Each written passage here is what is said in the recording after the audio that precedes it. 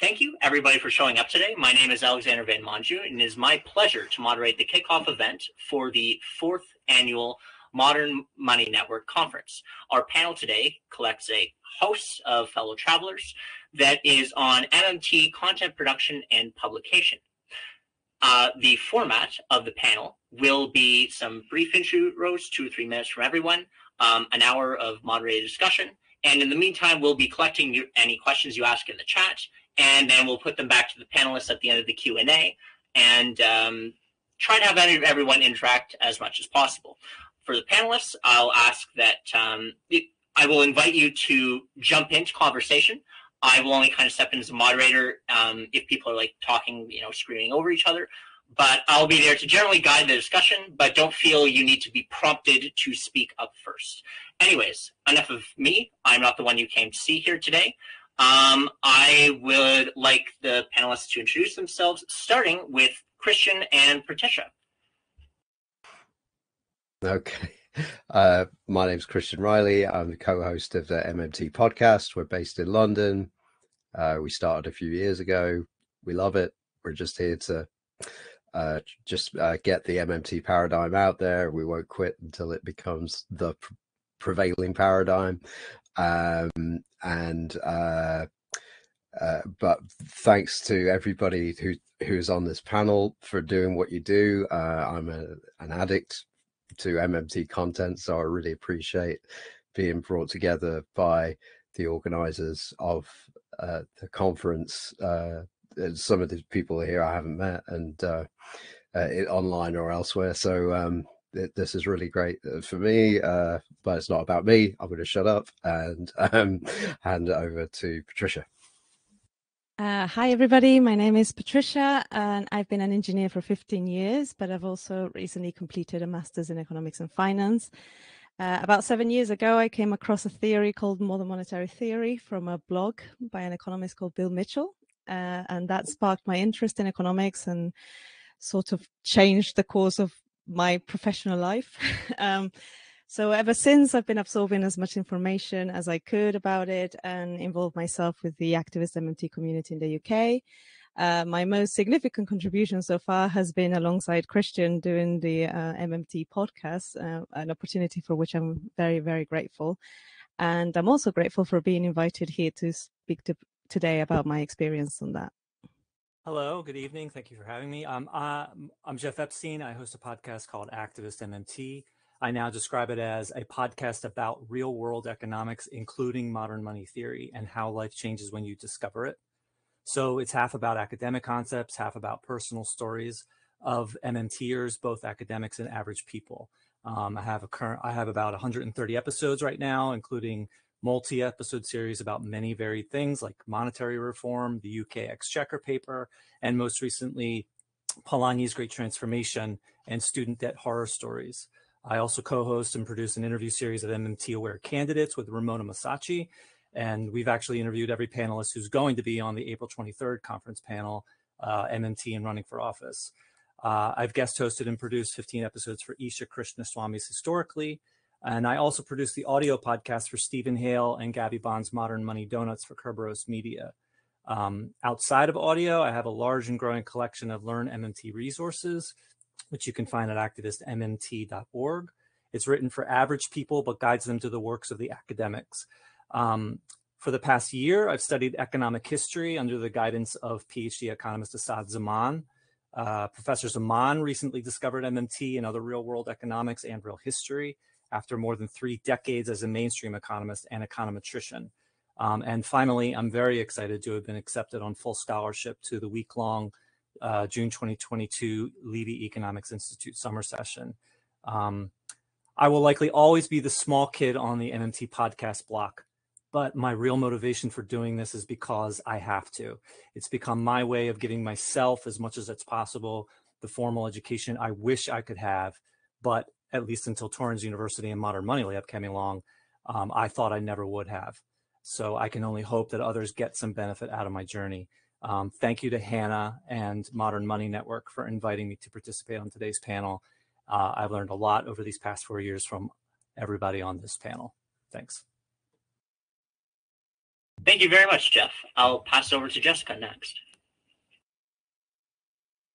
Hey y'all, Jessica. I am someone who grew up just outside of New York City, grew up during the financial crisis. My first like radicalizing moment was definitely when we saw, you know, the bankers on Wall Street get bailed out with with billions of dollars of public funds and my dad was a carpenter. He was one of the people who like worked on houses and built houses.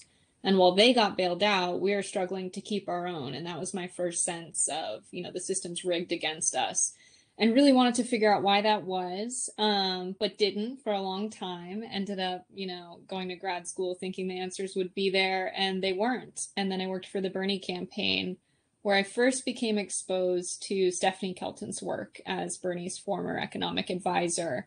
And really looked into what she was doing uh, because I was writing a TED talk on how to restructure the US economy, like just painting the picture for for what's going wrong now and what a new direction would be. And didn't fully understand everything stephanie was saying but my curiosity was piqued and i made sure i didn't say anything that contradicted mmt but i looked into it more and then the campaign ended and i had way more time to read. I read the deficit myth. And then we couldn't organize in person anymore. So i went on to tiktok and decided to start corrupting the youth and spreading mmt among the youth and that was really fun. And now I still do TikTok and also make content for the Young Turks, like bringing MMT content into like presenting the news. So if Tucker Carlson's talking about inflation, I'm talking about the MMT approach to in- inflation in response to that. Um, so yeah, that's what I do now, and I'll pass it back to you, Alexander. Thank you very much. Uh, now I'll pass it over to the Money on the Left crew. So uh, Max, Natty, Will, feel free to introduce yourselves. I Suppose we'll go in that order. Um, hi, everyone. Nice to see some of you again and uh, meet others.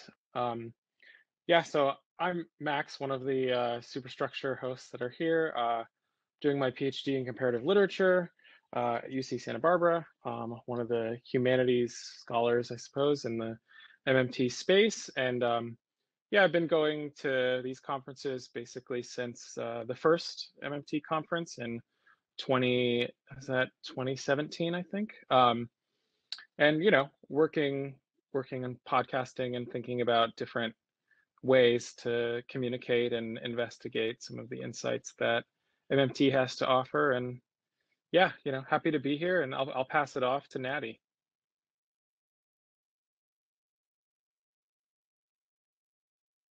I'm Natty. This is uh, my first conference, but I got in with these guys doing podcasting with Superstructure and then later Medium Femme. And so it's been a fun journey. I'm, I'm down in Santiago, Chile. I've been here a long time, but I like to be in touch with like the different media intellectual currents going on. And I think economics in the last few years has kind of like reasserted itself in interesting ways. And it's always doing that right. And I think sort of performing the ongoingness of this feminist pedagogy of um, learning on your way and learning together. And that's like part of this performative register of trying to talk to people. And yeah, I'm doing um, Medium Femme to this other show. So it's nice to meet all you guys and be here and be on this journey talking media and economics and politics with everybody.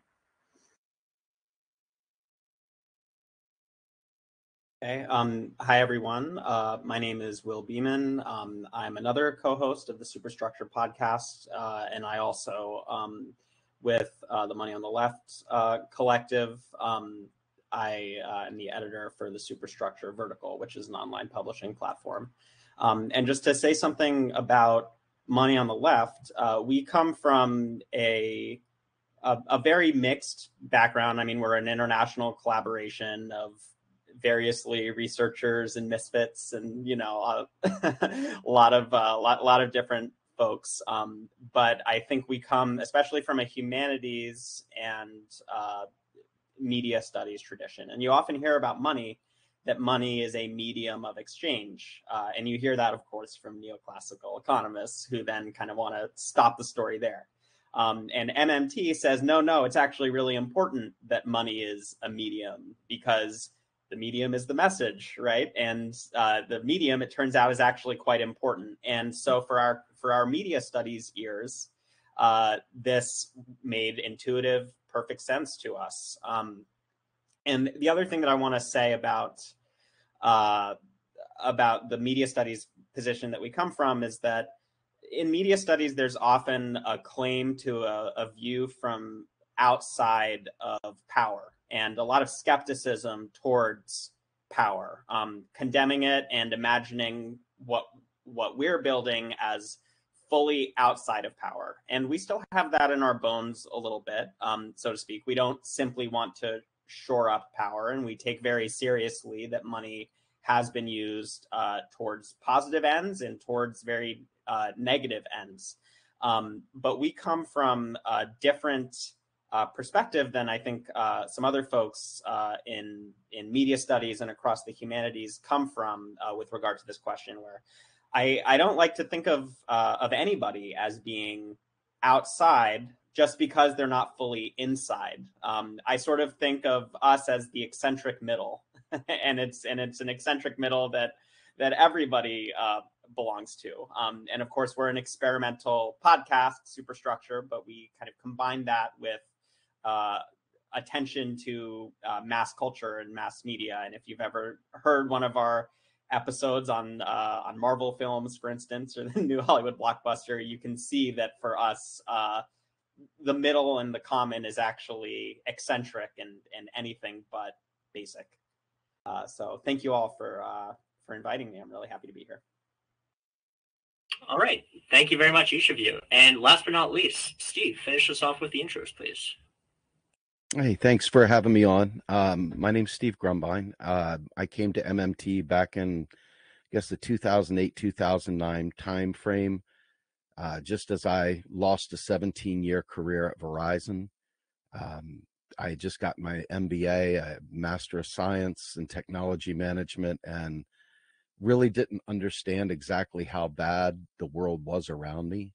Uh, I felt like it was kind of a weird, I just won. I got these two graduate degrees, and yet I'm about to lose my home. I'm losing my family, and everything was going to hell in a handbasket.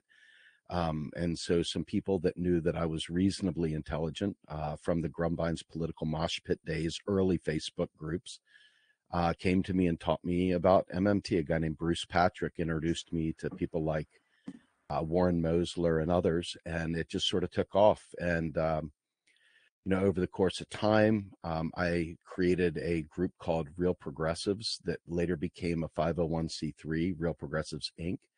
And we also created a 501c4 called Real Progress in Action. Um, I am the host of a podcast uh, called Macro and Cheese. Um, we've almost got uh, 170 episodes, um, deals with history, deals with um, different authors' journeys and socio-political, socio-economic uh, kind of uh, uh, topics that we cover. I also host three days a week, Monday, Wednesday, Friday, my own show called uh, The Rogue Scholar. It's at noon. Um, but I'm also now a co-host on Status Coup with Jordan Chariton, formerly of TYT. And I do my own Let's Get Ready to Grumble on Thursday nights, uh, which is a produced show over there as well. Um, I wish some of the other people from Real Progressives could be here because we've got a lot of other people. It makes it look like I'm just by myself. And believe me, I have an entire team of people that work tirelessly uh, to help me out. So I feel kind of weird being up here by myself when they're out there. Uh, but I want to thank everybody for having me on here and uh, look forward to it. All right. Uh, well, thank you very much, Steve. Um, so uh, the first kind of question that I wanted to get at, and um, some of you partially touched on it in your introductions, but what is the what is the audience you aim for with with, with each of your content? Um, uh, how does sort of like MMT center in it, and are there any challenges in terms of fronting 101 stuff for people that are relatively new to the field versus having uh, more novel stuff for the people who have been around the block for a while? Um, anyone who wants to take that, uh, go for it. I think I think Christian would be quite good at answering this actually.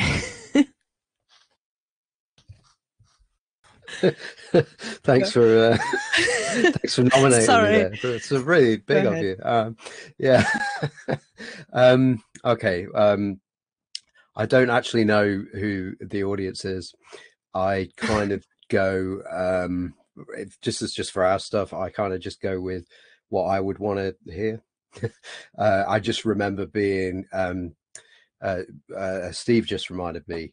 I think a lot of us were in this position after 2008. Just you know what the hell's going on? We were hearing this story about money's run out and uh, everybody brace yourself because the government's run out of money and then the, alongside headlines of uh, actually we're spending trillions propping up the banking system. It's like okay well how can these two things be true at the same time? And uh, you start reading around that kind of stuff. Ultimately you get to the question of okay god what is money? Where does it come from? And you can end up going down a lot of rabbit holes. You've all seen them. You know a lot of people like to shroud it all in mystery. And then if you're lucky you come across a clip of you know warren mosler or kelton or, or, or bill mitchell just going okay it's a tax credit that's the end of it right okay well what are the implications of that and i just find all that really fascinating and so I just kind of put myself in the position of somebody because uh, uh, I kind of still am there. I'm not very far from there. That uh, who's perplexed by all this stuff that we're swimming around in, all this commentary that we're swimming around in. What maybe what I would like to hear. Uh, so yeah, it's very uh, I don't know what the word solipsistic what I'm doing, um, but um, uh, and and that's what I go by. I, I think I, I think what we've I think when when I'm making something or, or, when anybody's making something, it's good to kind of go, what's the point of this? What's it for? And like I say, our mission, I think we've we've not written it down anywhere, but I think it's implicit is we just keep going until it's normal for people to think about money in the MMT way, not the household analogy way, which is what's normal now. And so we're going to keep going with that. And and so then I get to go, okay, did this listening back to it when I'm editing, okay, does, is this does this get us nearer or further away from that goal? So there's a way to decide whether you it, it's a compass, you know. And uh, so that so that's it. It's just out there for whoever finds that useful, and, and I think that that's kind of all, all, all you can go by really, because I think if you just go, you, you can if you want to judge yeah, whether content's been successful or not by how many hits it's got. And if you do that and then adjust on that basis of the basis of trying to make that number go up, eventually you you know you're going to end up running an adult film site. so yeah, I think I think you need to have this uh, that that compass point, and and which you can add to that if you know do, and then just to ramble on a bit longer, um, the I think the shortage that we have at the moment, the the real scarcity, it's not money, it's attention. So, and I think the only way you can build attention, you know, in a way that doesn't just turn your website into a sort of eyeball magnet, is is is through trust. You know, do and, and so I think is this thing we're about to put out there likely to build trust or not? So yeah, I, would put those two coordinates in, and then I think yeah, I, uh, um, 99% of the time on our podcast, I put an, an intro on there because I think some people are going to come to this just they're going to randomly click on our thing and they're going to start hearing something and i think what happens in those first 15 20 30 seconds dictates whether they follow through and just go uh, and listen to something else. So I try and make the very first thing that happens catchy, uh, and then and then it goes into a bit where I'm speaking generally as if you're pretty uninformed or you you know curious, but maybe you've not heard a lot of this language before. Maybe you don't know what aggregate demand is. Maybe you don't know you know and and so just talk people through that so that to maybe let that new person know look you're in the right place. We'll, we won't try and alienate you. We want you to listen to this whole thing. And you know and, and i think for the people that maybe know are very savvy you know uh, the great thing about podcasts is there's this uh, skip 30 seconds 30 seconds you just skip to the the meat of the interview if you just want to hear warren or or, or uh, you know Steven Hail or, or Robert Hockett or whoever you've tuned in for. So that anyway, I think hopefully that's answered the question. Oh, totally. Uh, sometimes you never know with podcasts whether it's one of those series where you're supposed to go to the first one and like play it sequentially, or if it's one of those mm. ones. God forbid you ever do that. It's like um, you know they're just the, the, the, worst mic in existence. You can barely hear what they're saying. They don't know what they're saying, and so on. Um, I, so, I often, sorry to just jump in. I'm sorry. Go for it. Um, I, I, often put if there's something in there where somebody said something and it needs further explanation, and we've done a whole episode about it in the introduction, I might say, okay, our episode blah blah blah is about that particular topic. So I'm just trying to. I don't know. It's it's kind of I don't know if it's the right thing or the wrong thing, but I'm just trying to link it, people up to the most information, the mo- you know the the right journey uh, for them if they're confused about something. Uh, anyway, I'll butt out. No, I, I, think it was really important for us from the beginning that um, the podcast was accessible to lay people, and that that was our priority. Uh, sometimes, you know, we try different things, and some things resonate, and some things don't resonate. And sometimes it's predictable, sometimes it's not. And you know, I think the more we use the podcast as a means to ourselves absorb information, the more we find common ground with the audience who is also trying to understand these concepts for the first time. Totally. Um, so I'll, I'll, I'll start calling people out. Um, so Jessica, how do the dynamics of that content creation sort of differ um, on a platform like TikTok? Yeah, this is definitely related to the question you just posed of like who is your your audience. And I think realizing that most people that would see whatever I create, it would be coming up on an endless feed of videos and all it takes is like a thumb swipe and they're at the next video. So you really have to like capture their attention within the first few seconds, like maybe even milliseconds of the video coming on their screen. And yeah, you have to you know talk about MMT in a way that doesn't use terms that are unfamiliar. They're not, you know, terms you wouldn't use in your your everyday life. And that's really challenging because this is complex stuff and you lose a certain degree of nuance by boiling the language down. So it's hard to be precise, but also use language that people use in their everyday lives to reach them. And so the audience on TikTok is probably, you know, different from like the young Turks because everyone on TikTok is just everyday people looking for entertainment and so then you run into this thing of of am i bringing them entertainment and information at the same time? And and what's the compromise there? Because sometimes people will watch one of the videos and say well surely she's being sarcastic. We can't just create new dollars that won't solve our problems.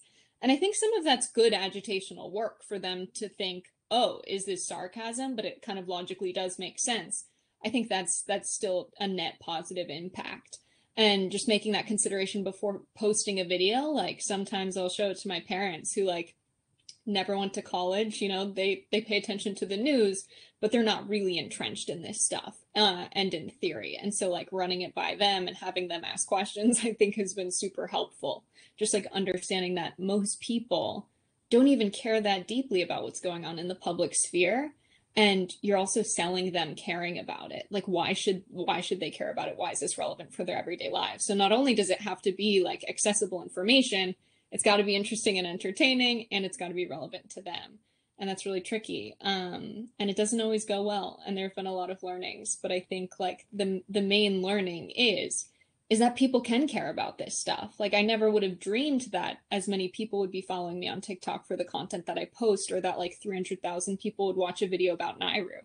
Uh, and so it's really cool. Awesome. Thank you so much. Uh, I'll go to Will next and then Jeff afterwards.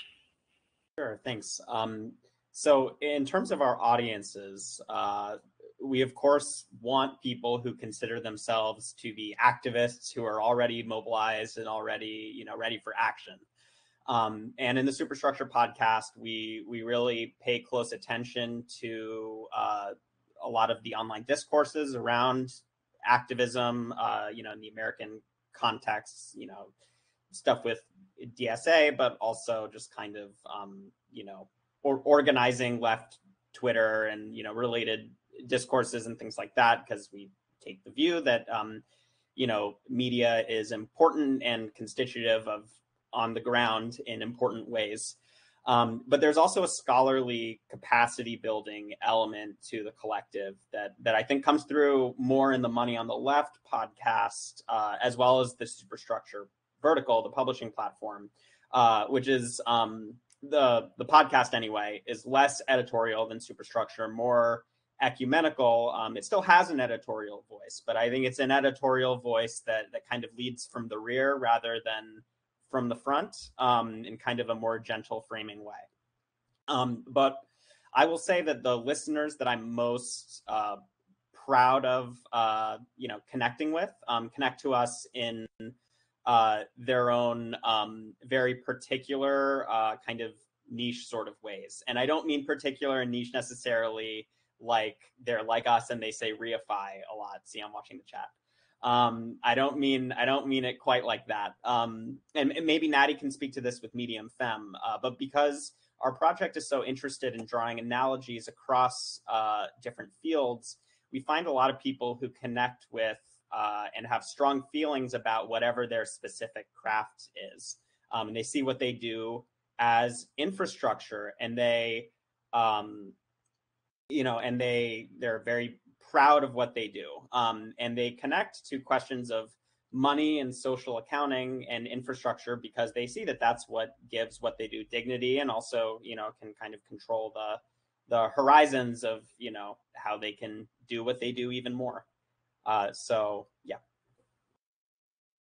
Thank you very much. I'll hand it to Jeff and then Natty afterwards. Um, yeah, so I mean, the title of my podcast, I you know, has activists, and I kind of think of that in two senses. Um, number one, it's our term for lay people. It's our term for a layperson, but it also implies taking the theory and applying it. You know, for people who are more politically oriented. So I I like to I like to learn in public. I consider my podcast as kind of learning in public, and I'm I'm very open about that learning. I'm I'm you know, especially in my written work, I'm extremely, uh, I have a very bold disclaimer of, you know, I know a good amount, but I'm I'm not an academic. I don't speak for the project. Here's how you can get in touch with me to to tell me how to do better. Um, so, I mean, who's my audience is basically people like me. Uh, uh like, you know, I, I know a decent amount after four years now, but it's very important to me, and I think important to the project that we always keep in mind of how to communicate you know these very subtle comp sometimes complicated concepts that we're learning and being able to translate that to, to those who know nothing or or have been marinated in in nonsense for you know their whole lives. Um uh and i and i also think that it's important for those who do know a lot to learn from those who are learning from them to you know that we we you know we learn from the academics and i think it is an important element i think there is an important thing of the academics or you know people who know a lot to keep in touch with those who are learning and struggling to learn and say it in the right way and i, I think that's valuable as well so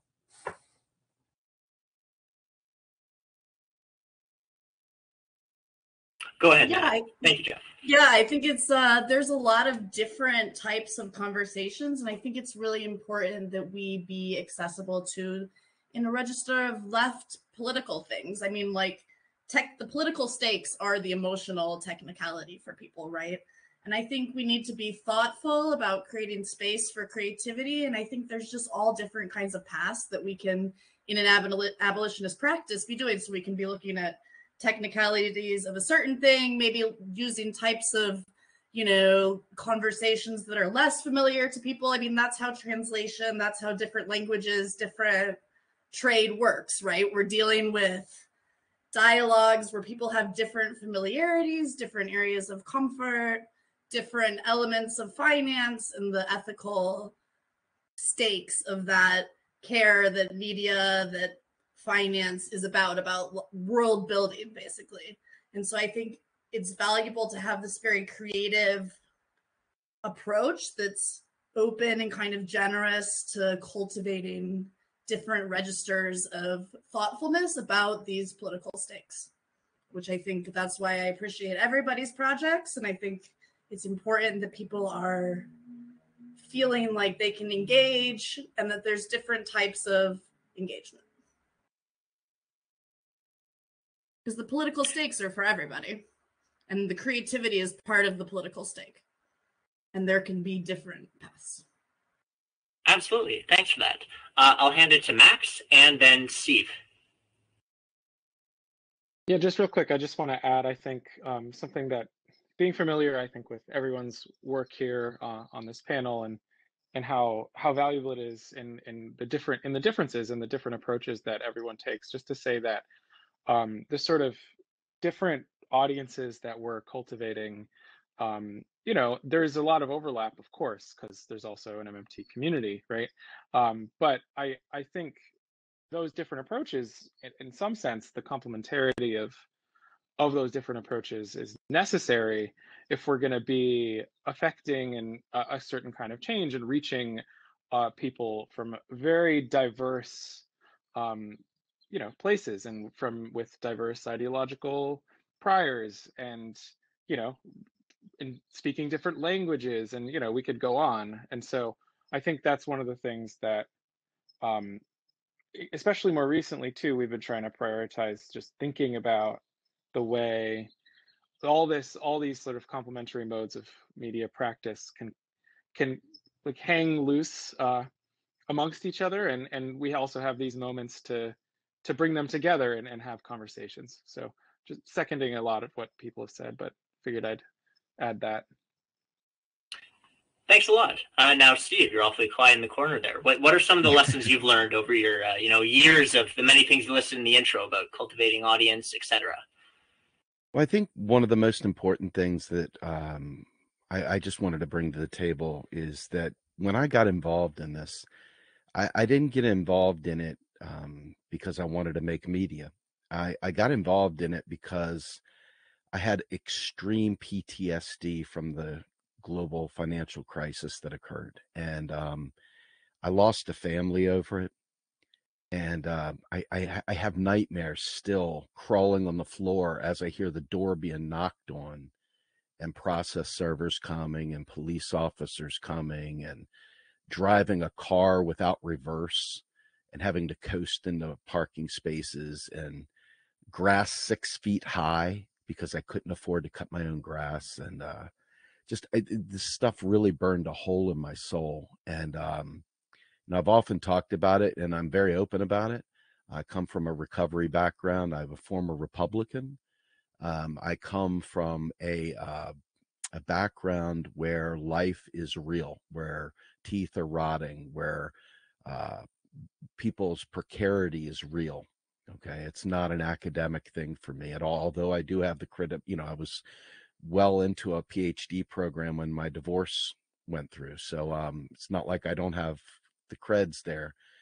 The issue for me is is that this didn't matter to me until I realized that it was the answer to a lot of the problems that I went through. So the people that I try to talk to, um, you know, they're, they're people that are hurting they're not people that are going to be offended necessarily. They're people that are really hurting, like I did. Um, they're people that are probably going to lose their home. They're people that are um, wondering why any of this matters. And so for me, my rage, my um, my passion, things like that, they're not drummed up in any shape or form. They're they're like I lived it. That's my that's the life. And um, MMT shined a light on a possibility that was different than what I went through. And as a father, I think to myself, how irresponsible of me to not take this message out there.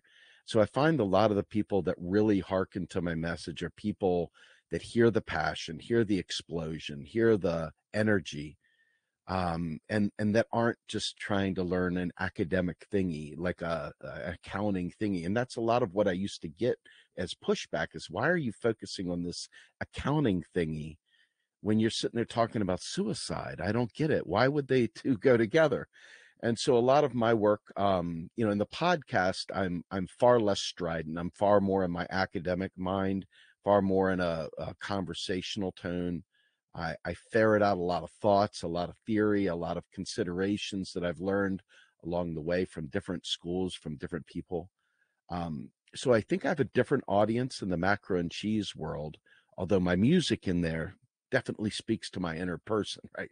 but um, I, I, that is definitely a different angle. And then when I'm on Status quo or when I'm doing the Rogue Scholar or when I'm on a different show, I you know I bring different elements of my person out depending on the audience. Um, and so I think it's really important to realize that the people that are hurting out there, a lot of those people, eh, they're they want to hear someone that understands that pain. They don't want to be gentled. They don't want to be coaxed into some false, you know, dulcimer type thing. They want to they want you they want to know that that you know what they're talking about. They want to know that you know that pain, and I do. It's real. It's not a. I don't have to be contrived about it at all.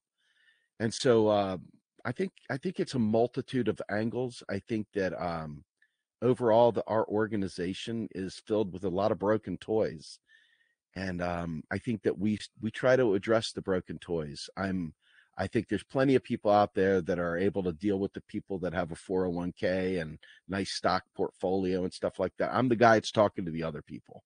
That's the way I view it. That's that's my audience. And um, you know, I mean, I, I, don't know whether it works or not, but I've been around for a while and um, I feel like I'm adding value. And the minute that I don't feel like I'm adding value, I'll stop doing it because there's enough podcasters in the world. One one less isn't going to hurt anyone's feelings you're all adding enough value to be on this panel. And for tonight, that's what matters. Thank you very much, Steve. Um, I'll hand it over to Patricia and then Natty afterwards. Um, I just, I guess I sort of had a, a question. I don't know if you um, asked me not to hijack the whole thing, but um, you know, I, I, I had a question because I hear um, we all have different approaches, and the but we're all really driven by the same kind of desire to do a make a positive change. And i think that uh, our different experiences and perhaps our different locations as well drives us to select different strategies for how to best to achieve that. And um, in in in our case and perhaps i'll, I'll speak just personally because christian may have a different perspective but um, sometimes we get messages from the audience uh, saying that uh, you shouldn't be so you know obviously a lefty and you shouldn't be pushing so hard for progressive causes because that puts off a lot of people on the right who actually want to learn about MMT but don't want to be lectured constantly about these things. And and our approach to that to that response has been, you know, if if you are right wing economically and, and and want to learn about MMT, by all means um, join us and learn more from us but we don't want to be dishonest with the audience and hide the fact that you know we are driven by certain um, objectives. And um, so that's been our approach i think. I don't want to speak for christian but i pretty sure it has been.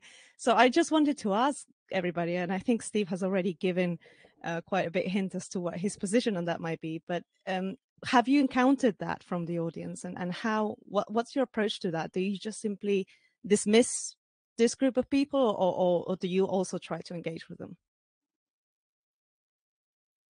Thank you. Uh, that you're not going to believe me but something similar to that was going to be one of my next questions.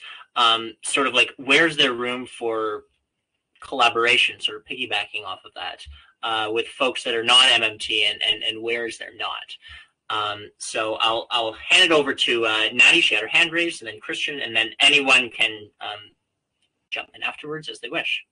Yeah, I just wanted to say that sort of the academic or the media as like categories and meme are not outside of precarity and pain, right? And I think we want to be really careful about thinking about having an absolute idea of who is and isn't our audience. I think that performance is a part of reality. And I think there's a really strong tradition in Black studies and queer studies and feminist practice that performance is part of seriousness about reality and media and um, abstraction and art and um, academia are places of pain and precarity that want to share in the solution. And so I think that's what I have to say about that. Thank you. Christian. Uh, I was just going to chime in and say I completely disagree with everything Patricia just said. no, just kidding. Um, no, um, the yeah, no, I completely agree with it, and it ties back to um, what I was saying about building trust.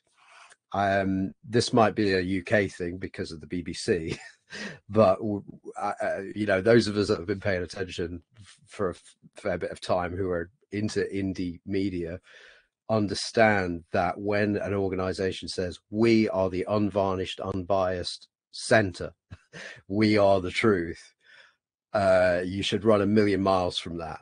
You know, it's that that it's the Howard Zinn thing. You can't be neutral on a moving train. So anybody pretending to be unbiased is pretending. uh, so I think a way to build trust is to say these are our values.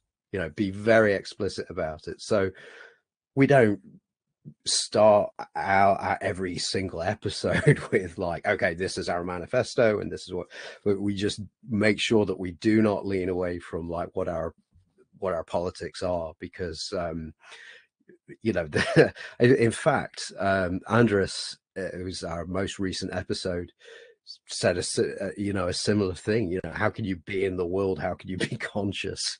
You know we're not zombies we're not robots. How can you be conscious and not have some kind of ideology? So and i also think that um then people who don't have your ideological bias, it shouldn't be too painful them for them to listen to because it's like, okay, I, am not, you know, now you can adjust for for my bias. You know, I, you know, I'm not going to insult you by saying I'm right because I'm completely unbiased, um, which I find the the thing that really turns me off, and it's why I, I can't uh, consume a lot of what was supposedly left left media or nominally left media because it's neoliberal uh, uh, as flip, uh, which I'll I'll put it like that in uh, now before the watershed. okay, all right, I'll go away now. Thank you very much. Um, I'll hand it over to Will and then Jeff afterwards. Sure. Um, thanks. So I wanted to say uh, I really appreciate what uh, Steve shared, and I wanted to echo it uh, sort of in my own way and say that um, MMT has been like a really therapeutic uh, way of thinking for me too.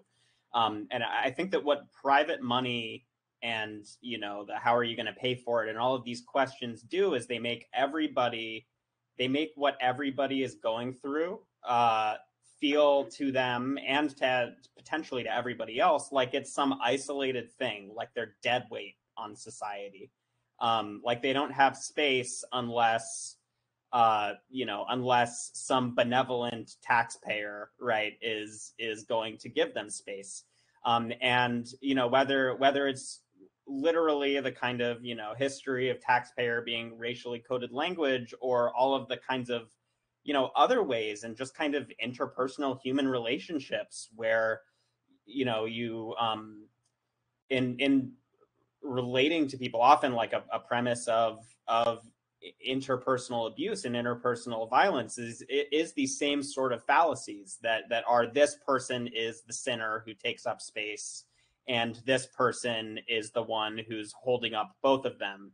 And you know i think that what what mmt gets at and why it resonates so much with with people in such a deep emotional way. And, and i'm astounded at the number of ways that it resonates with people is because it kind of starts with an assumption that like wherever you are right where you are is is not taking up space is not pushing somebody else off the platform is not you know whatever your kind of metaphor is.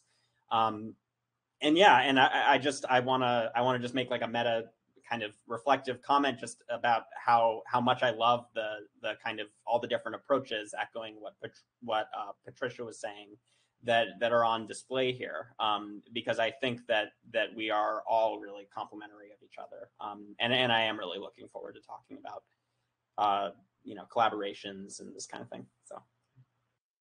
Thank you very much. Uh, I'll hand it over to Jeff and then Jessica after him. Um, I, I was uh, uh, there was a great question in the chat by Virginia Kotz um, that I assumed was going to be, you know, later in the question and answer or the audience section, but it's starting to come up quite a lot. Uh, Christian just said, um, uh, I'll say Virginia's question. Uh, Virginia's question was, some say MMT is or should be apolitical. Do you agree? Do you include ideology with MMT content? And Christian just said you can't be neutral on a moving train. And a long time ago, well, okay, so you can't be neutral on a moving train, which I'll be honest, and I don't totally understand that analogy, but I get the gist of it. And and eh, a long time ago, I heard Christians say that there's nothing wrong with bias in journalism. What there's what is wrong is undisclosed bias in journalism.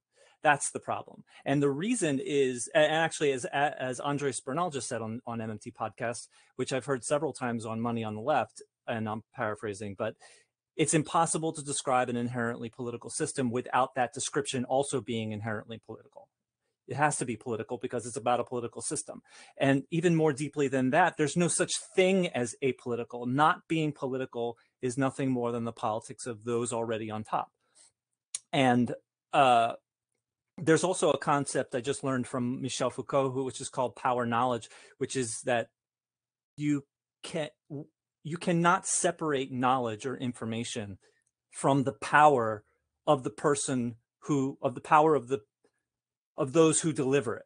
You can't separate those two. So whatever information you hear is always in the context of who told it to you and what their motivations are and so on.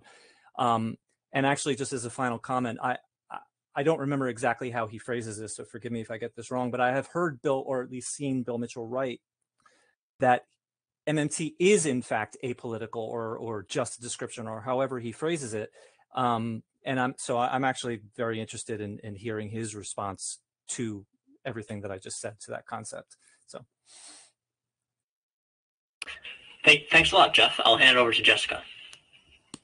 Yeah, also thinking a lot about uh, ideology and politicizing our work around MMT. I think it's an interesting question. I mean, we talked all the time on the Bernie campaign. Are we losing people by explicitly saying the word socialism?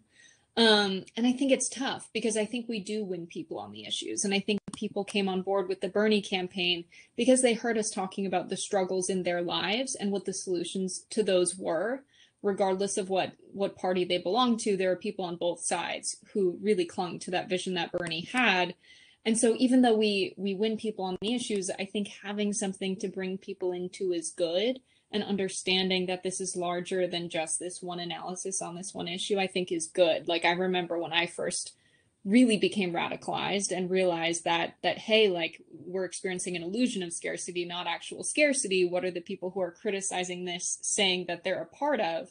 And hearing that they were calling themselves you know socialists uh, was useful for me to find more information. And i think as mmters like the question of collaboration like having a place where everyone who's interested in this can go and see like all of our content like everyone on the panel and people in the chat i think would would be good but uh, like on TikTok, I think about like, do I want to start this video with talking about like mainstream progressive policies and then go into the MMT stuff? Like, I really don't want to lose people before they hear me out. And so that's something I think about a lot. Um, and the workaround is is to humanize yourself. I think we want people to be able to make decisions with the evidence in their everyday lives and be able to see themselves in you and your work. And I don't think making content without that element. Like people follow people. People want to hear why it's outrageous and interesting to you and relevant to your life so they can see themselves in you and see how it's relevant to their lives as well.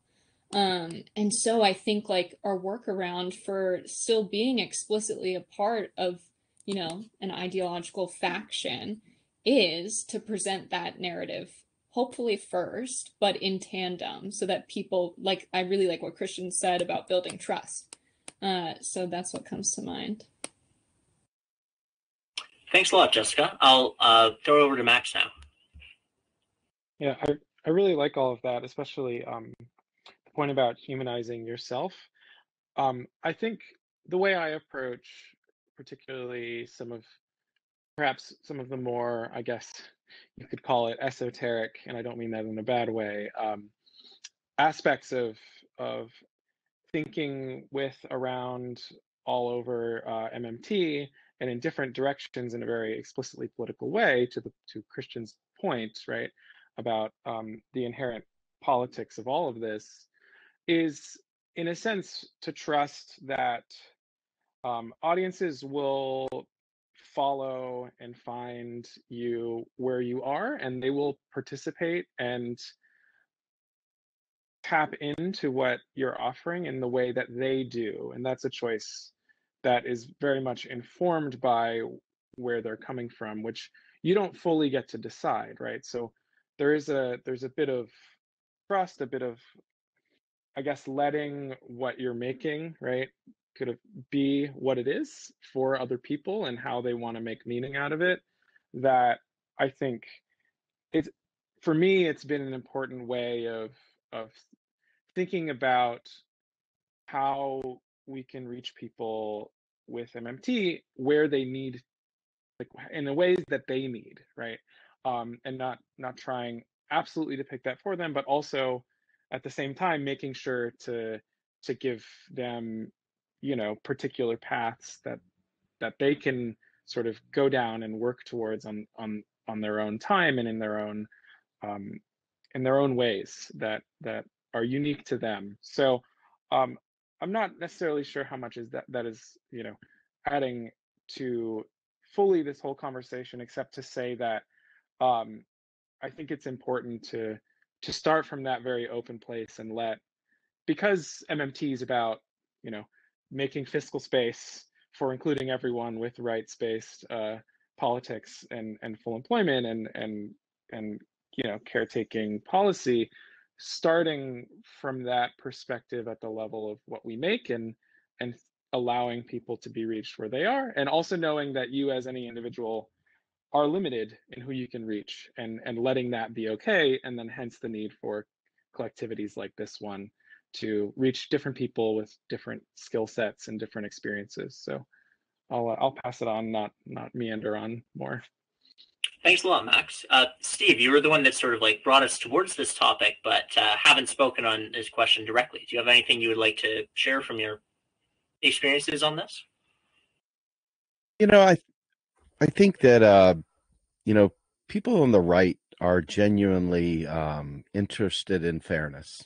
You know, they're inherently interested in fairness, and um, when they see somebody getting something for free, um, they naturally assume that it's coming from them because they made sacrifices. And uh, whatever those sacrifices are they made sacrifices. And um, so mmt helps kind of take away the villain um, you know from those individuals. And i know for me um, you know I, I when i first came to mmt i had uh, been a ron paul guy just to put it in perspective i had been campaigning for ron paul and um, you know, end the Fed, all the other stuff. And uh, you know, when I was hearing about it, it, it literally, when I realized the difference between a currency user and a currency issuer, and I understood the difference between states and the Fed, federal government, and and just sort of some of these very very black and white structural things that are the way they are. Um, it, it fundamentally took away the sting and the the anger that I had, you know, because it, it, was just it's just part of that right wing reactionary feeling of uh, you know how how do you how do you get past this? So from a perspective of an audience, I like what Will said. You really don't have a choice in kind of who picks up on you. They get to make that choice, right? They get to choose how they interact with you. They get to choose what they take from you and whether they like what you do or not. Um, but I do know from my perspective as a guy who came from the right, now would say I'm much further to the left than I ever imagined in my in my uh, 53 years. I just can't. My father would roll over. I'm sure the bust of Reagan and stuff would just blow up. Um, but just knowing that though, and understanding the talking points and understanding the um, the logic if you will. And there is a logic. There is a logic to it. It's just a logic founded in scarcity. It's a logic founded in in finding scapegoats for why things are the way they are, and and wanting to be a problem solver, you know, in their own weird way. Um, and w- when you do understand this MMT concept, the most fundamental parts of it, not not getting into the deep theoretical currents, but just at the most basic, you know, Randy Wray, MMT primer, you know, type stuff.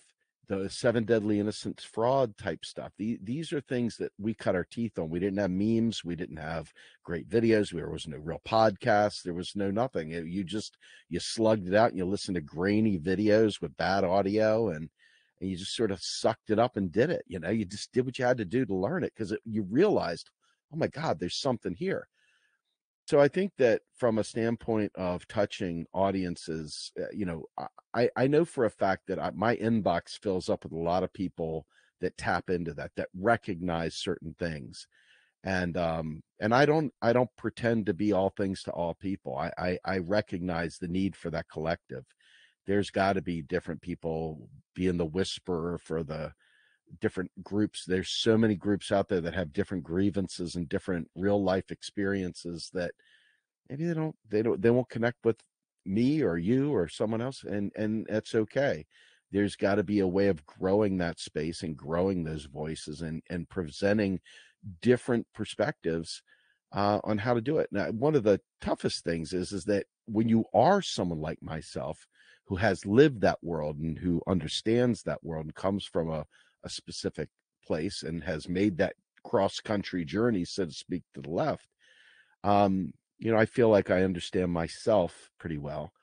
And um, and it's tough because people don't always afford you the understanding of of what you've been through. They don't often t- they they they take their own biases and their own concerns and their own thoughts and they fling it back at you whatever they feel. They don't take the time to necessarily realize the richness or the lack of whatever. They don't really understand the the the fullness of the story. Um, but I think that you know this is a journey, um, and I think that you know the trust factor comes in authenticity. Um, and authenticity comes in different flavors, but I I know for me, I wake up in the morning.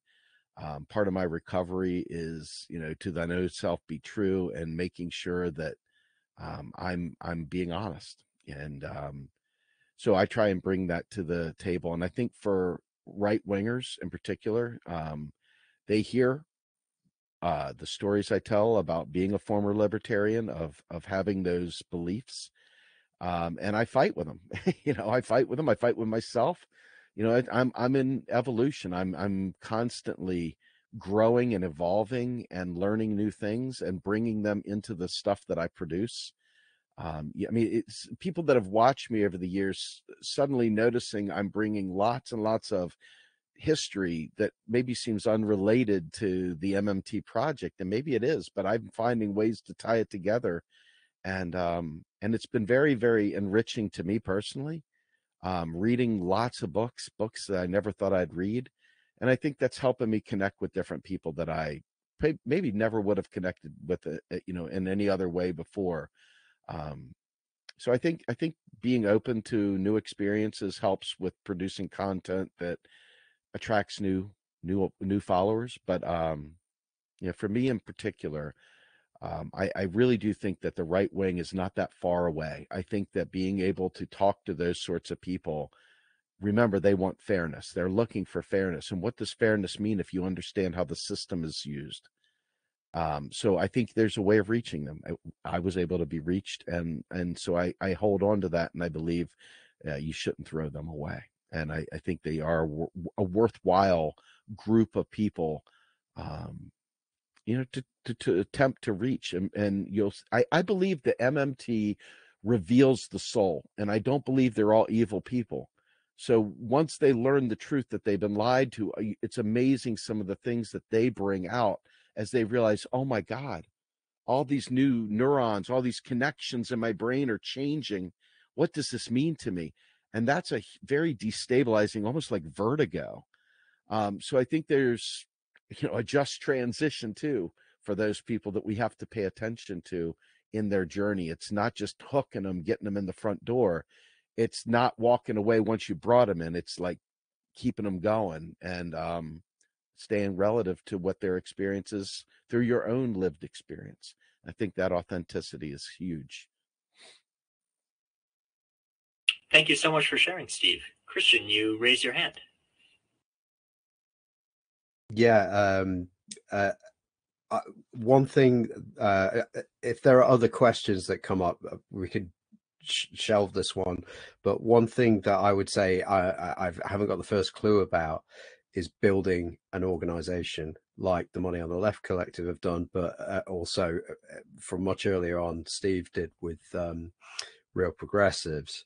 And I, I, it would really help me to, you know, hear maybe the, the what what the you know what they consider to be the salient plot points in the journey from you know just some disparate individuals kind of coming together into something that's that, that you know that's become a coherent whole moving towards a, a goal.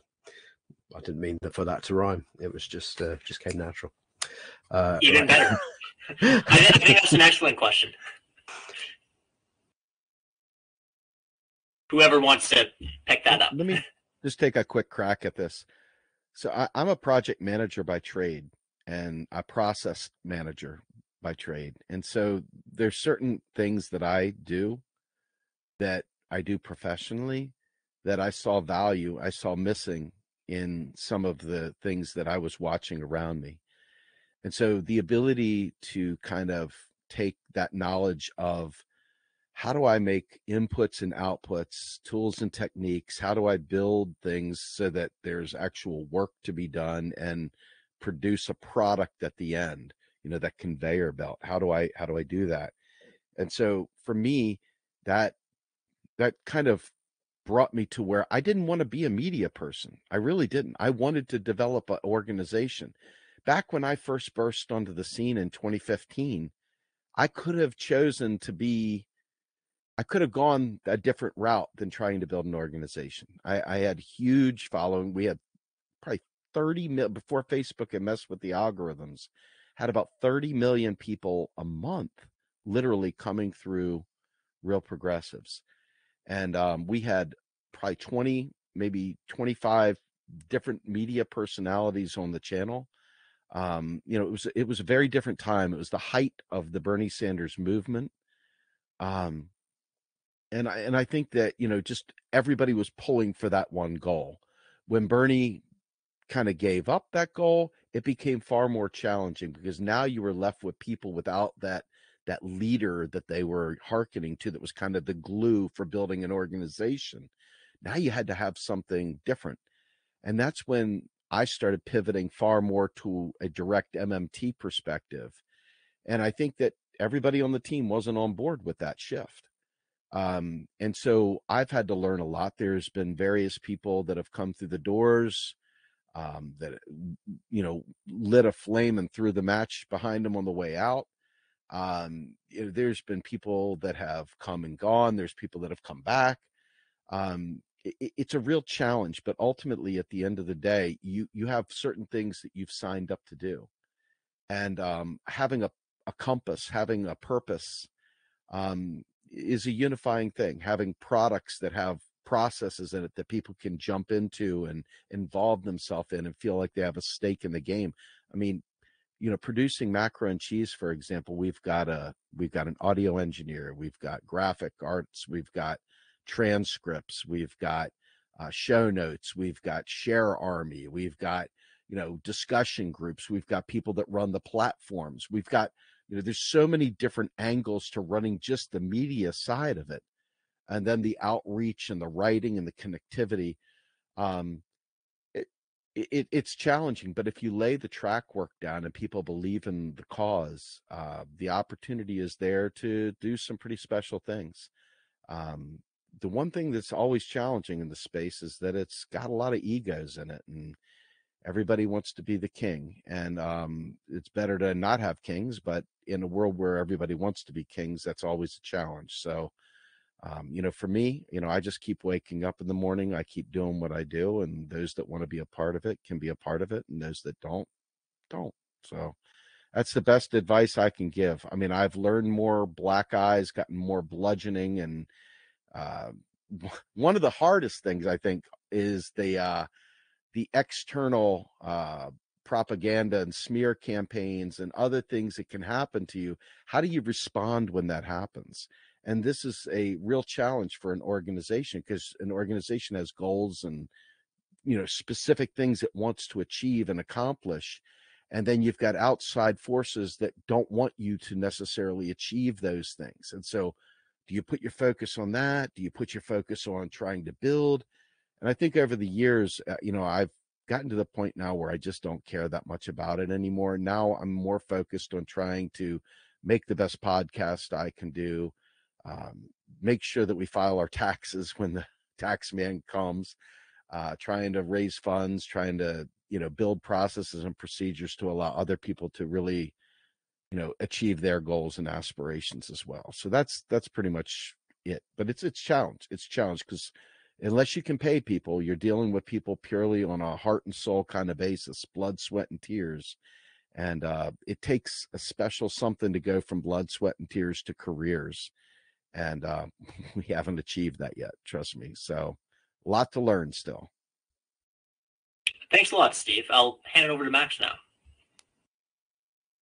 Yeah, I guess I'd like to speak to uh, the money on the left side of this question. And, you know, I think something maybe to add to this mix too is money on the left initially started, right? It was um, it was Scott Ferguson, William Saas, and I, and then um, and then very shortly after we brought uh, Will on board. Um, and we started with a a conference and and a series of uh, and podcasting right and that that's sort of the, the bread and butter of what uh what how it how money on the left began but in addition to that right um you know scott billy and i and and and now you know the other people in money on the left including will and natty were by by trade you know what we what we do to to pay the bills is is teach right we're teachers in various different contexts, right? And and that looks different depending on the context. But um, so I think a part of the way we've thought about building a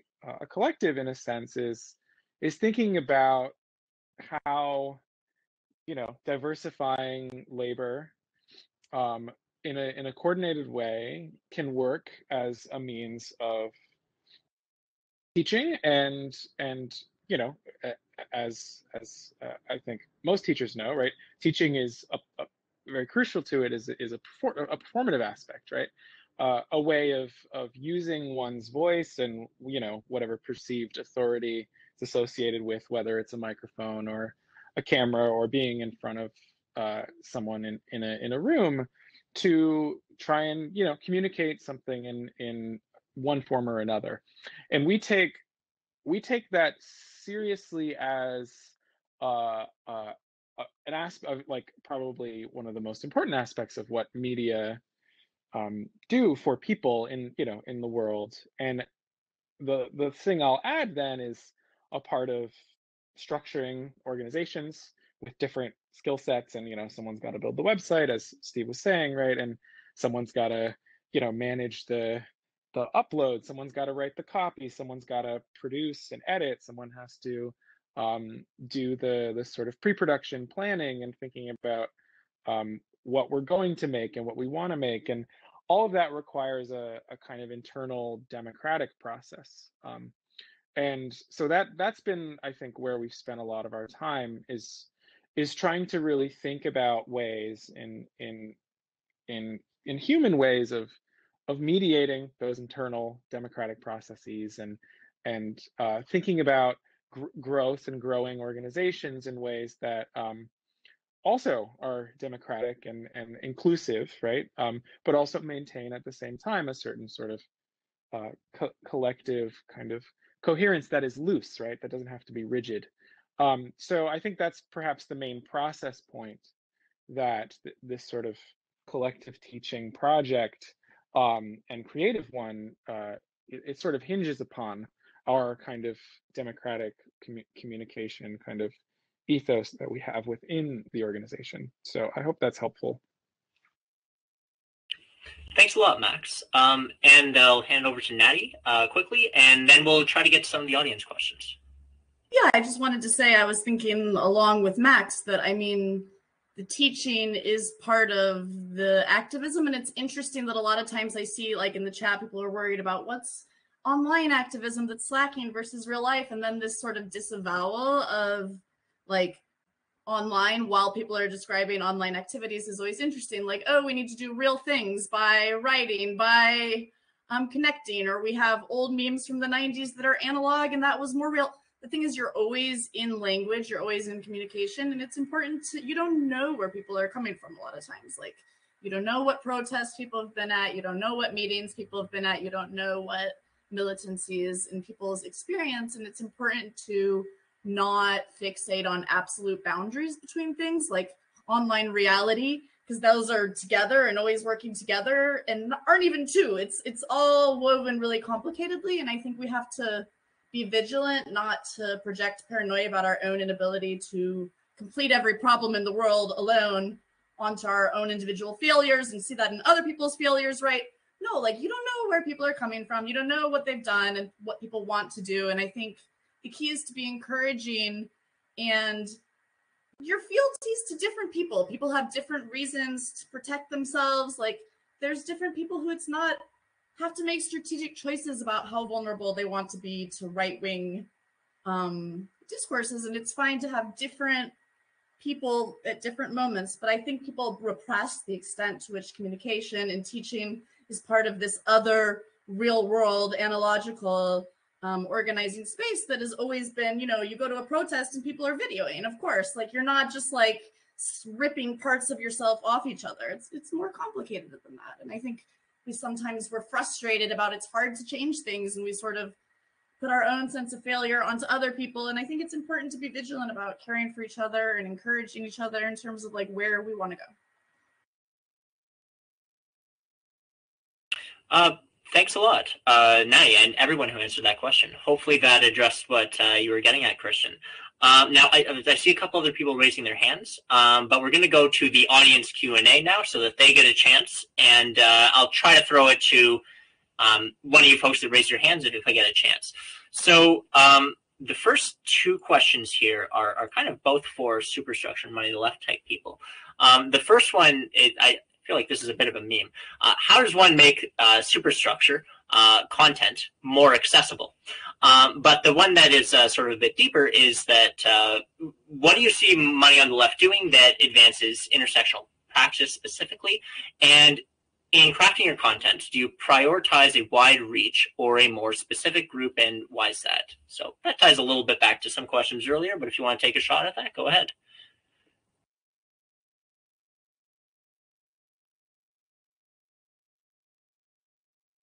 I'll just say quickly that I'm like a huge nerdy reader and I love to follow a lot of stuff. And I actually met Money on the Left through Will and Max's podcast when Will was doing like his parodic character. And that was like, I clicked on that, you know, like neoclassical Marxism, like that parodic kind of approach of looking at something I was familiar with, which has international stakes, right? Like when Doug Henwood writes against MMT and Jacobin, you know, he's writing about how inflation his right wing version of how inflation happened under Allende, right? Like there's that's part of the stakes of things, right? And so when I see a parodic, like that's one point of access, I'm like, oh, what's this funny thing about like making fun of this?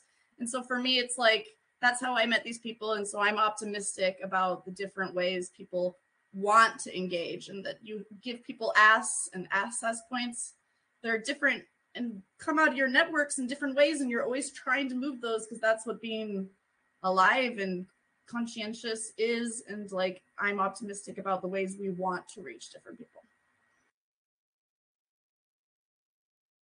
Thanks a lot. Um, if uh, if there's nothing else um... yeah um, well i can i can say uh, speaking i guess both to the intersectionality point i think and the kind of accessibility point there's this kind of question of accessible to who, right? And I think that often when the question is asked, there's this kind of imagination of a sort of common denominator normal person, right? Who who knows, you know, the kind of boilerplate stuff that everybody knows and that's the majority of people and so you need to meet the normal people first and sometimes it's it's described as almost in the language of like a trade-off, right? Like you can't be too weird or you can't be too X, Y, or Z, or else you will, you know, not get a big audience. Um, and I think that I, I, think that having a really big audience is is a specific form. Um, I think that that's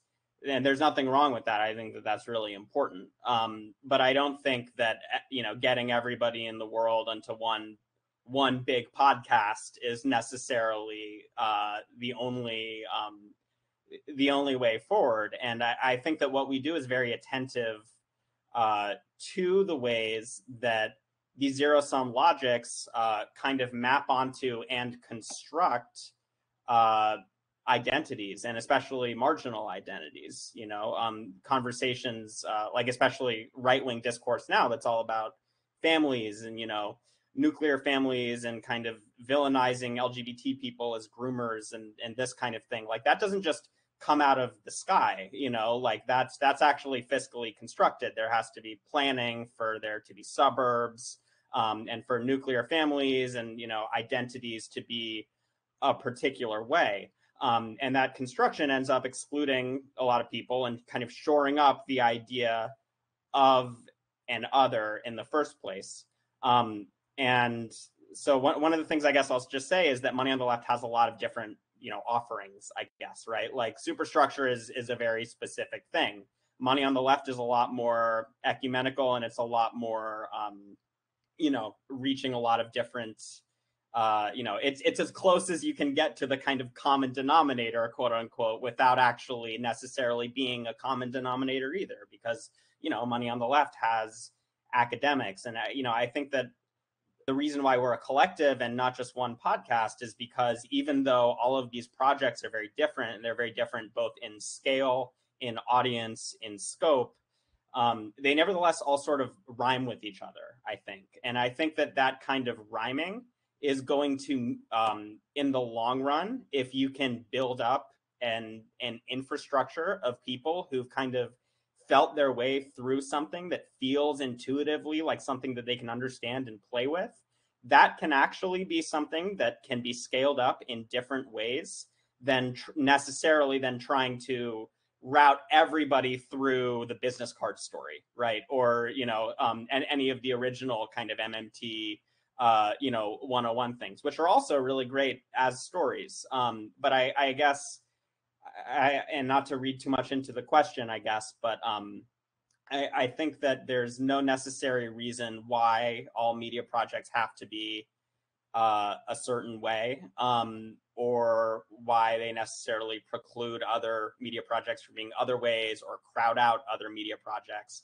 And, you know, I mean, I think that when we started – uh, I think that we, especially with superstructure, had something that we wanted to say that I think we felt like was going to be hard to understand um, at first. And I think that we felt like, and this was kind of a an emotional choice, I guess, and like a self a, a kind of self discipline, although I really hate that framing.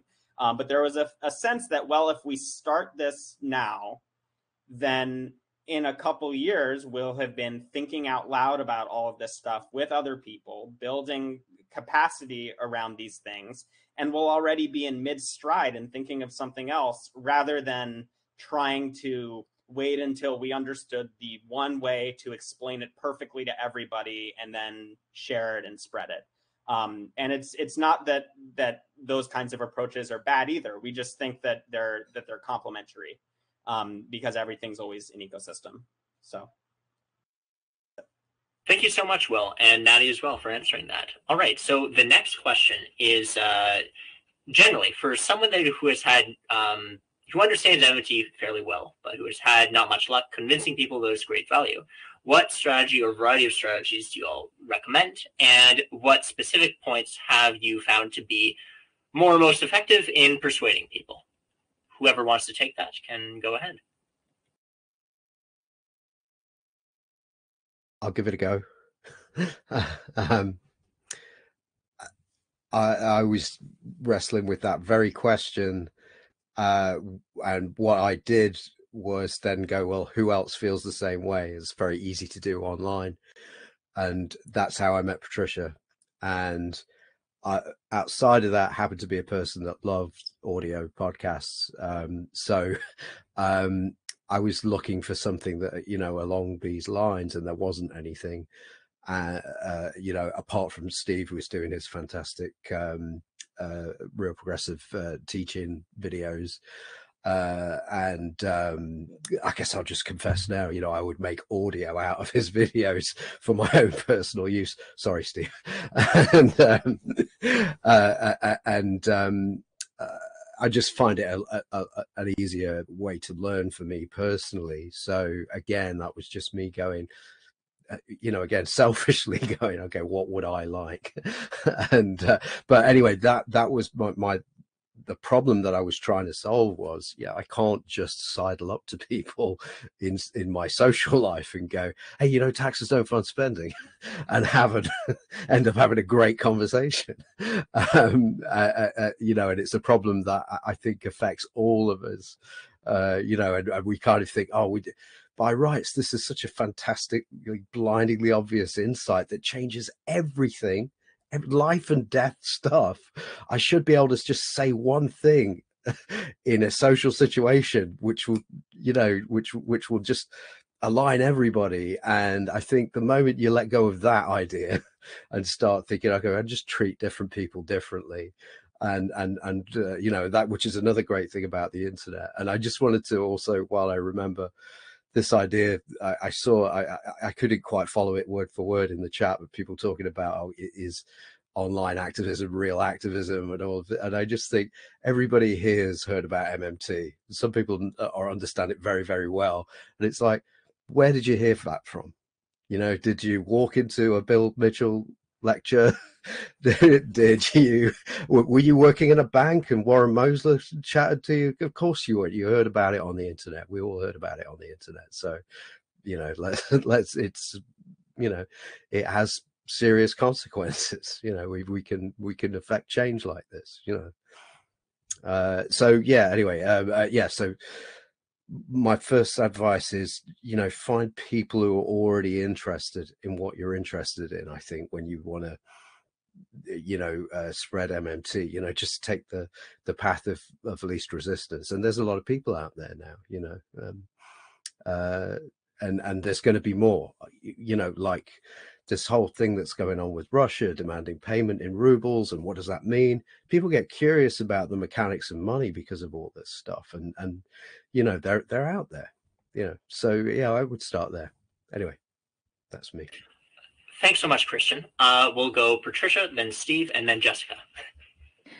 Yeah, so um, I agree with everything Christian has said, but um, I think I've been thinking about this recently, and uh, and uh, the first thing I want to say is that there, there's no one kind of formula that works for everybody, and I think everybody here will agree with that. Um, but if I want to generalize, I would say that the most important thing to do is to actually listen first um, and what I, what I mean with that is that if if you frame your message in a way that appeals to the audience's values or appeals to a certain way that they're accustomed to thinking for example like obviously I surround myself with engineers every day and they think in a very particular way so I know sort of I've learned what what um, works with them but that's only come through you know years of failing and trying again and actually listening to um, the things that they cared about and how then to frame our arguments in, in ways that resonated with them. So um, uh, appealing to people's values, I think, is incredibly important. But also um, something that I've also grown to kind of understand is that um, MMT has an enormous power to um, uh, free people from very restrictive ways of thinking, and uh, this kind of um, pay for kind of mentality it frames a lot of what people believe to be possible in the economy and therefore um, uh, what kind of injustices they tolerate as a result of that. Um, um, and so sometimes e- even just opening people's minds to the reality of MMT, naturally, I think I, have started to have faith that people will get to those kind of views, more more progressive views, more em- empathetic views of the economy by themselves, without me having to say, oh, you can only do this, you know, in a good way. And so I, I think sometimes that means just having faith that people will get there on their own accord. Um, and uh, which is not always easy, but it's something that I've learned recently, so I wanted to share. Thank you so much. I'll hand it to Steve, and then after we'll go to Jessica. You know, uh, you know, one of the things that Jessica does, and I'm sure she'll tell you about it here in a second. But she's got the medium, the TikTok medium. And in TikTok, it's basically a bumper sticker. I mean, you've got a very, very short window to make a very poignant point. And and you see people flock to it for for a variety of reasons, right? But you see other groups out there that have huge audiences, and you're like, how the hell did these guys get this huge audience? And you start studying, you try to figure out what is it that's drawing them to that. And you start to realize there's these like affinity groups, if you will. Um, but most people genuinely do not, and if they wanted to, they would have gone to school and done it. You know, I mean, most people that I'm running into, they they're interested in like the standard yell at the TV. I don't like you, politician A. I don't like you, politician B and they've got the Fox News angle coming at them, and they've got the CNN, MSNBC angle coming at them, and this makes up their entire politic. That's that's what they know. They go to work, they have the water cooler, they talk to whoever. The pandemic changed things. People had to focus on some social media. And so you got to experience a different kind of feel. Unfortunately, we also dealt with algorithms, a lot of censorship, an incredible amount of authoritarian behavior with the tech companies and uh, in cahoots in some ways with our our government. Um, but ultimately, what I found is, is that people genuinely give you about maybe 10 seconds maybe 10 seconds and you can see that in the algorithms you can see that in the youtube uh, reports how long people stick around and when the when the audience fades or when they come back or when they really stay uh, they give you little nice uh, readings graphical readings of retention and things like that and I, I really genuinely believe you, you, Christian nailed it uh, in his earlier remarks, where he said, if you don't get them in that first 30 seconds, they may not listen to your podcast at all. So, unfortunately, a lot of the discussions about MMT, you know, people want to give you the long version of it. I want to give you the long version of it a lot of times. I mean, I, it's it's hard not to because it's a it's a rich story. There's a lot to say. There's a lot of interesting thoughts to have a lot of great angles to think about and awakenings of your own mind. But to actually present things to people, you know, I, I look at like Alcoholics Anonymous and I look at, you know, uh, evangelism in general. And it's it's kind of like you got to hook them with something that there's a saying nobody really wants to know what you know until they know how much you care and that goes back to that authenticity but it's really that initial shock. And so we did come out there with taxes don't fund spending. And we had varied responses. Either A, people were screaming and yelling at us, You're crazy, you're libertarians, you're friggin' nuts, you know, or or they came back and they said, Oh, you must be these Republicans that just don't want these things. And and and you just kind of shocked. You sit back and listen to how they respond back to that. But the fact is, is that they cared. You got them whether you like the statement taxes don't fund spending or not you caught their attention. It's like what did that guy say? Is he an idiot? Have you ever opened a textbook? Have, what's your credentials? You know it brings out some visceral reaction. And now you got a chance to have a conversation because unlike you know a lot of people well maybe like a lot of people I, I don't get to get out of the bat cave very often you know i've got children the pandemic has really disciplined me to the ball and chain of the home. Uh, so really you know what used to be a very very vibrant i could travel go to all these actions be a part speak and rallies it's largely been reduced and, and i don't know if it's reduced but it's changed form to doing panels and doing live streams and doing podcasts and stuff like that. So i think it's really critical to have that hook and even if it's bombastic or even if it's just confusing, what the hell did he just say? I think that that right there, that moment that makes them even care to ask what the heck you were talking about, that is a really key factor. And once you hook them with that, then you've got an opportunity to do all the the the splaining. Um, but I do think it takes a second because you're you're there's so much internet noise, there's so much clickbait, there's so much just trash and trivia and and like lots and lots of you know just op-editing and, and things like that that you have to fight through and they like james bond. James bond rocks. They want to they want to feel the spiciness of you know they want to be entertained. And so getting past that you know that wall um it, it's tough. So i think it's critical to have a hook to get out through there and to get your chance you know your little pamphlet your little entry line your your one-off uh, the icebreaker that gets you in the in the game. I think that's critical to even having any of the larger conversations. Thank you so much, Steve. Um, we're getting close to the end. Uh, we'll go a little bit over just to kind of wrap up. Um, go to Jessica next, and there was another question that was specifically for you that kind of tied in a little bit. That was about uh, people on TikTok, do you see a difference in like generational awareness of economics and willingness to accept alternative paradigms? And then uh, after you, we'll give Jeff the final word. Then go around, get everyone the chance to shout them out, shout themselves out, and uh, call it a panel. Yeah, that's a good question. I'm going to start with the the one we were just grappling with. Um, how do we win people on MMT? I'm going to talk about manifesting. I think it's this sounds crazy and it's funny, but it's important. I think as creators, like people who create content, I watch Tucker Carlson a lot. He is telling people what the world is. He's not giving his analysis on the world.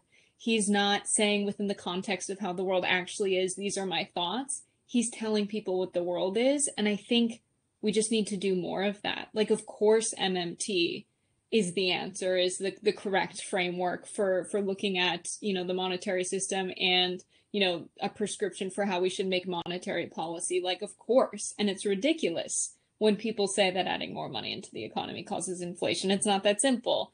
And to really project that kind of confidence because we are confident in this worldview and we know that many people don't accept it but as soon as people catch like a sense of of lack of confidence or that the story you're telling about the world is not one you're sure of, I think we lose people. And I think there's just a lot of power in that when it comes to storytelling and creating content. And it really works like on an organizing level as well. Like when I worked on the Bernie campaign, we created events out of nothing and we would just call volunteers and say like hey we're having a big you know labor day cookout everyone who supports bernie in the area is going to be there like here's the time like what time are you coming what are you bringing and really just speaking the world we want to live in into existence. I think there's a lot of power in that. Um, and then I will say the the question about TikTok is I get such a range of different people. Um, of course, TikTok leans young, and there there is this rumor that like younger people, you know, are more progressive. I think that's true, but also I've seen a lot of older people who have like reached out directly and have said like, you know, I'm you know in the late stage of my career but i'm thinking about like going back and getting you know a master's degree in economics or something like like this thing of mmt has completely like reshaped my worldview and is changing my life. And so it's a it's a decent mix. And like my tiktok audience actually leans older compared to what's typical. And so it's interesting. Uh, i think everyone's gettable. I don't think it's like just the youths on tiktok. A lot of people are on tiktok. It's like the most popular online destination in the world now Thanks a lot. And uh, Jeff, we'll give you the final word, and then we'll go around and briefly let everyone shout themselves out. Uh, so, kind of touching on some stuff that's been coming up now, there's a question from Brant in the chat, and his question is, "What media is missing that you'd like to see?" And he gives an example of billboards. Um, so, in the 2016 Bernie campaign, there was a four-minute uh, campaign video documentary that starred Erica Garner called "It's Not Over." Where at the end of it, she gives Bernie this high compliment, calling him he's a protester.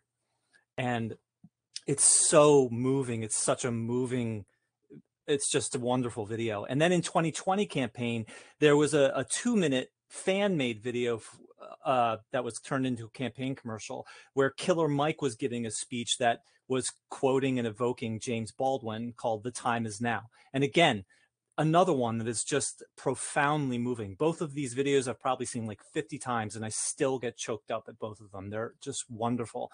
And the reason I say this is because I don't think it's necessarily a question of what media do we want to create because I think we have great stuff already out there. Not to say that we can't do more and that we can't you know do it for different audiences and do it better and whatever but we have great stuff already out there so the question is not just what can we do to create more good stuff the question is how do we get what we already have out there and that is really a question of the reality of the people who would have to downgrade to platinum covered pools down to gold uh, plated pools are the ones that are in charge of, uh, that are in front of the levers of power and in front of the levers of media and social media. Elon Musk just became the primary shareholder of uh, of Twitter, which is the center of the MMT universe on the internet. Um, so it's you know the the only reason people saw these Bernie videos is because I shoved it in their faces in my iPad. Uh, IHOP waitress, I showed her the video on my iPad, and I was at my uh, uh, uh, what was it, my physical therapy, and I put the iPad up to the person checking me out. That's the only reason these people saw these amazing videos because no one's going to show them because Bernie might get elected if they did. Um, so uh, you know, uh, kind of, you know, Jessica was kind of touching on of how can we get that stuff out there. And I think this is kind of a reflection of the move of the movement and the theory as a whole. We have the winning argument, obviously, that can save the world without exaggeration.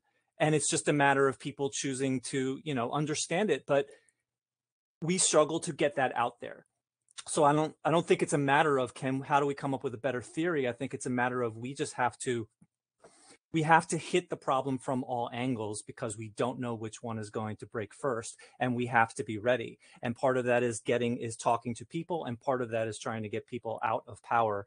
Um i don't know i'll just leave it there. So thank you Thank you so much, Jeff. Those are pretty uh, good closing words. Um, we'll now just go briefly around to allow everyone uh, shut themselves out. Let us know where we can find your content and um, if there's anything like upcoming soon. But just very briefly, um, go to the MMT podcast first. Sorry, I wish somebody else would go first. I don't know what a shout out is. Um, okay. Um, I, our thing is called the MMT podcast with Patricia Pino and Christian Reilly. I think Patricia Pino is an easier name to remember. So if you put the MMT podcast Patricia Pino into your search engine, um, then uh, you'll find our podcast, and uh, that's that's really it. Uh, I'm on Twitter at MMT Podcast, and Patricia is on Twitter. At, I'm going to speak for you, Patricia. This, this is terrible. No, uh, at, at, at Patricia N Pino. N for November. Patricia. We also have a, a, website which is slowly being populated with with all our past episodes. So bear with us on that. But uh, you can also go to that, and it's the themmtpodcast.com. Well, thank you very much, both of you. Uh, Jeff, where can we find you? Um, I'm an activist MMT on Twitter and on Facebook. Uh, my website, where just a lot of written uh, resources for regular people, but guiding them to the works of the academics, is activistmmt.org. Um, that's where. Awesome. Jessica, where can we find you? I'm on TikTok. Uh, it's cover bank. I'll put it in the chat. Also, Rebel HQ's YouTube channel with the Young Turks, and I'll post on Twitter when I'm going on the main channel as well.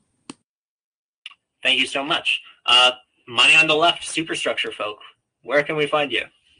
Yeah, so uh, moneyonTheLeft.org is our website, and we have just a whole lot of stuff there. Um, you can follow me on Twitter uh, at a going account it's too late for me to change my name, so that's what it is. I'm sorry, everyone. It should be Will Beeman, but uh, you know, you live and you learn. Um, and yeah, I'll let everyone else say their their handles. Yeah, so I mean, just on Twitter at Max Seijo. Um, I'll add you can subscribe to our podcast feed. There's one feed, Money on the Left, and all the different shows will pop in there. Um, follow Money on the Left on Twitter um, as well. We make sure to post everything. We also have an account for Superstructure. Yeah. Yeah, I'm. Uh, I'll be under the money on the left feed as well. I'm doing Superstructure. I'm doing Medium Femme. My uh, name is an old one from college, but it's uh, Orange Orange Orange Jasm, uh, which I think is part of our ongoing uh, activism of, of pleasure as part of the ongoingness of political process and our rejection of sovereign patriarch us as driving all ideas and victories and um, processes. So. Thank you so much. And Steve, where can we find you and your work? So uh, you can find our website at uh, realprogressives.org. Uh, to find all of our content, go to the media drop down and you'll find Macro N Cheese, but you can find Macro N Cheese on any podcast hosting platform. Uh, you can find me on Twitter. I'm austerity is murder or just SD Grumbine. I kept it simple. Um, the uh, organization's Twitter feed is Real Progress US, and that was a very unfortunate name. Um, and uh, you can also find me now um, at Status Coup on Tuesday nights with Jordan. Uh, he and I do a show together, and then on Thursday nights I uh, do the uh, Let's Get Ready to Grumble. It's usually a three ring fight, three round fight. Three subjects usually tie them together. Usually have an MMT analysis as part of it. Um, and please do check us out. All right. And I would like to thank everybody for attending the kickoff event of the fourth annual Modern Money Network Conference. Um, it was my pleasure to host this panel with all of you fine people. Uh, for anybody interested in more MMN content, there is another event tomorrow, uh, just called What is MMN? Um, hosted by Hannah, and that is going to be at 1 p.m. Eastern. You can find that on our site, on our Twitter, um, at the MMT Network. You can find me, myself, on Twitter at Van Monza, V A N M O N S A. Once again, thank you to everybody for attending and uh, look forward to seeing all of your work as it develops in the near future. Take care.